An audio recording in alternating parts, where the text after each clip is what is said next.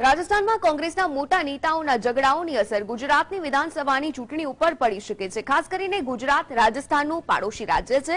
ત્યારે રાજસ્થાનમાં કોંગ્રેસ સામે હારેલ ભાજપ ગુજરાતમાં કોંગ્રેસે હરાવવા માટે કોંગ્રેસના આંતરિક ઝઘડાનો લાભ લઈ શકે છે અને આથી જ કહેવાય છે કે ગુજરાતમાં રાજસ્થાનમાં કોંગ્રેસના આંતરિક ઝઘડાની અસર થઈ શકે છે.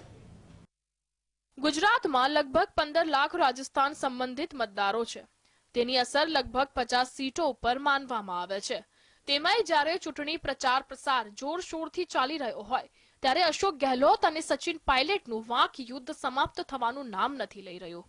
જેના કારણે ભારતીય જનતા પાર્ટી આ વાતનો લાભ ઉઠાવીને ગુજરાતમાં રહેલા રાજસ્થાની મતદારોને પોતાના તરફ આકર્ષી શકે છે.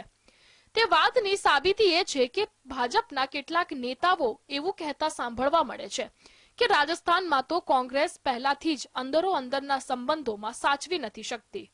આ રીતે રાજસ્થાનના મતદારોને ભારતીય જનતા પાર્ટી પોતાના તરફ કરી રહી છે. બીજી તરફ કોંગ્રેસના પૂર્વ અધ્યક્ષ રાહુલ ગાંધી રાજસ્થાનના પ્રવાસે ભારત જોડો યાત્રા દરમિયાન જવાના છે. ત્યારે પણ જો કોંગ્રેસ દ્વારા કોઈ વિરોધ કરવામાં આવશે, તો તેની અસર પણ સીધી ગુજરાતની ચૂંટણી પર પડવાની શક્યતા છે. Bureau report